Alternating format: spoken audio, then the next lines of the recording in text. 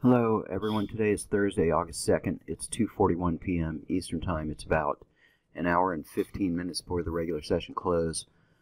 On my right is my computer clock, and you can see today's date and time, and on my left is the time in sales, the E-mini S&P, currently trading at 28.26 and a quarter. Uh, the first chart up today is the crude on a 987 tick chart, and I'm showing this chart first because we have a live open position and on the lower right you can see our P&L window. And it says short 3 we have a closed P&L of 430 and an open P&L of 270 our goal on this is 1300 so we're definitely shy of our goal. And you can see the open position here. We're short 3 from this level. And just want to remind everybody that we trade in live simulation. Okay, this is a simulated account, but this is live data. If you're at home looking at your charts and you're looking at the crude, you're going to see the same chart here. We always use limit orders, so uh, slippage is not an issue. About commissions, okay, so there's five or six or seven trades. So if your round turn for the crude is say $5, that would be $35 in commissions. We start the auto trader flat every day so we can see the equity high. So here we started flat, we drew down about $600 or 200 per contract. Looks like we had an equity high of 800 and then we had a couple of small losers here. You can see it in the equity curve and now we're short. And if the market drops, uh, see the equity curve uh, go back up. Another question that comes to me often is, do you trade your indicators? Do you trade your auto trader? And the answer is yes and no. I've been trading since 1997. I learned to trade a long time ago. And in my career, I've executed probably 10,000 live trades. At, at my age today, I'm not into trading like I used to be. So I make the occasional trade, and sometimes I run the auto trader for some live trades. But uh, if you search our videos, there's some live trades of me actually trading some trades I took. I'm I'm a software developer as well. You know, I designed uh, this software from all my years of experience. I have real credentials. I don't give myself ridiculous names like head trader. Okay, next up is the DAX on 150 150 Heikin Ashi chart. Uh, just want to show the indicator signals here. And this was moderately active today, maybe 10 trades or so, maybe maybe 12. Uh, in any case, it hit its goal of 25.50, I believe, and we had a couple of ticks of positive slippage. Yesterday, I remarked that this uh, Uh, 150 Heikin Ashi is becoming one of the more consistent or most consistent DAX chart. This, this one seems to always be showing in the green. Okay, the DAX on the Super Renko 14 tick did 1975 for the day and was done trading within an hour and 45 minutes. This starts trading at the open of the London session. This is a chart that is also very consistent and we've seen over and over. I've been plotting it since the inception of my videos. Okay, we have another live position here, this time on the NASDAQ 1597 Heikin Ashi chart. We have a really strong closed P&L of 1565 and an open P&L of 260. Our goal on this chart is 2250. So we're a little bit away from our goal, but any kind of a drop would give us that. Uh, it looks like the market's strong to the upside, so I don't have a lot of confidence in a short trade going that far.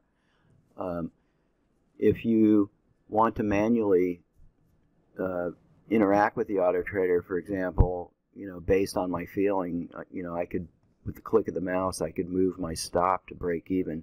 Notice here on this chart that my profit target and my entry and my stop is plotted here and these can be uh, dragged as well like this And so uh, I could move one of the contracts to break even. Or I could do it by clicking the button. That would move both of them.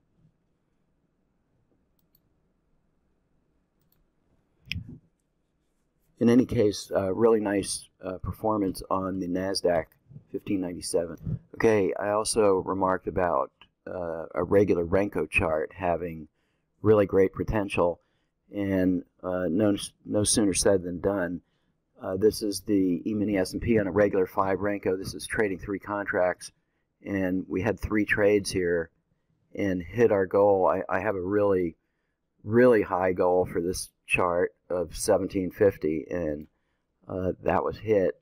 This is using our higher time frame filter of uh, Super Renko 6. So the, the shaded background is the Super Renko 6 when it would be short and when it would be long. And so uh, this long trade, this could have been a long reversal. That would, would have been a whipsaw, uh, was filtered out.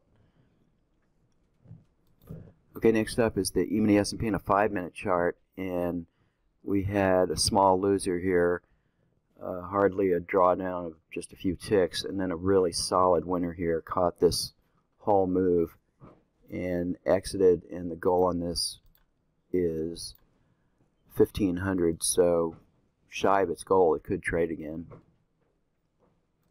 Okay, the Precision Renko 8150, I brought this back. I, I was, you know, going to quit plotting it and not have the Precision Renko bars in NT8 this particular chart does really well.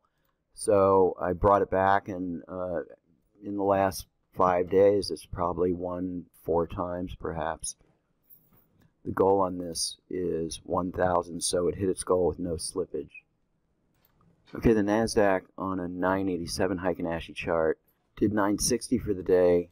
The goal on this is 1,000, so it probably hit its goal and had some slippage. Uh, pretty small losers, but large winners here is what we see. There was four trades, two winners and two losers. Okay, the crude on a 30-second line break chart did 820 on two contracts on two trades. There was a small loser, drew down less than $100 in, or or just more than $100, slightly more, and uh, did 820 Okay, the ES on a Super Renko 2 tick with a higher time frame filter of Super Renko 4 hit its goal of 750 and had a tick slippage. There was no drawdown on this chart. So very nice looking uh, trades. Okay, next up is the E-mini S&P on a Super Renko 4 tick.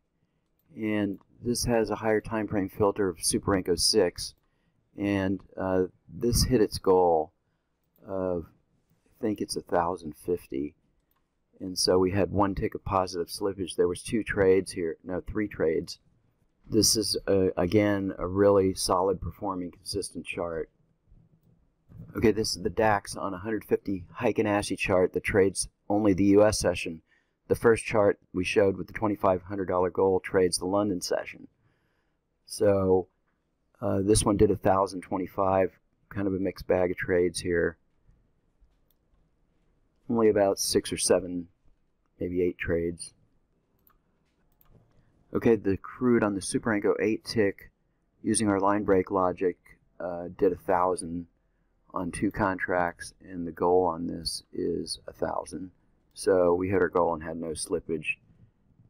And pretty nice looking trades. Looks like we drew down about uh, 250 per contract or so, close to that. Okay, a modest gain on the E-mini S&P 1597 Heikin Ashi chart. This had a significant drawdown of about 400 per contract here. First, it made an equity high of 600 and then it drew down and now it has come back thanks to this trade here and did 300 for the day. Modest gain on the bonds, Super Renko 2 tick, 312.50, just a couple of ticks in the bonds. And a couple of more charts with uh, minor gains. Uh, even the S&P Super Renko 4 tick uh, has an open position, close P&L of 187.50, so just about 200 bucks on this chart, and then on the uh, DAX Super Renko 6, it did 250 for the day. That's all for today's video. Thanks for watching.